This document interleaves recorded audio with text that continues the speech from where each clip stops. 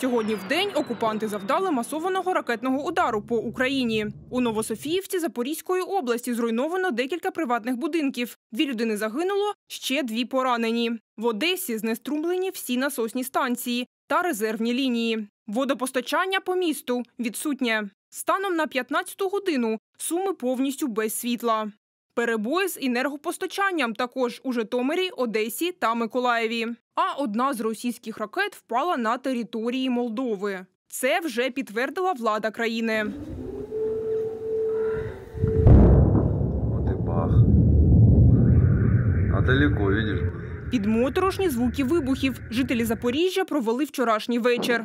Вкотре окупанти підступно вдарили ракетами по об'єктах промислової інфраструктури. На щастя, люди не постраждали. Зберігається загроза ракетних ударів по об'єктах енергетичної системи та критичної інфраструктури по всій території України. Також окупанти знову завдали артилерійських та ракетних ударів по Харківщині. У Куп'янську вузловому внаслідок обстрілів було пошкоджено дорожні покриття і транспортну інфраструктуру. Крім того, росіяни вдарили по прикордонних населених пунктах. Обійшлося без постраждалих. На Куп'янському та Лиманському напрямках противник веде оборону. Здійснив обстріли з танків та артилерії по районах населених пунктів Кислівка, Котлярівка, Табаєвка, Крохмальне, Берестове і Вишневе Харківської області.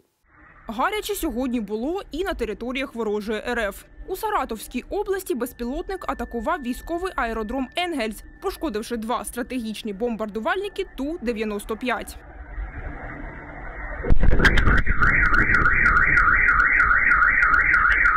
Ось так речник повітряних сил ЗСУ прокоментував цей вибух на своїй сторінці.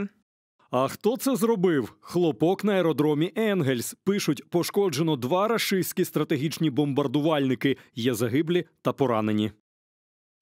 Трохи вогнику дісталося і ворожій Рязані. Там на аеродромі вибухнув бензовоз. Троє людей загинули, ще дев'ятеро постраждало. Внаслідок вибуху пошкодження отримав один літак. І одна позитивна новина. Нашого президента Володимира Зеленського британська газета Financial Times назвала людиною року 2022.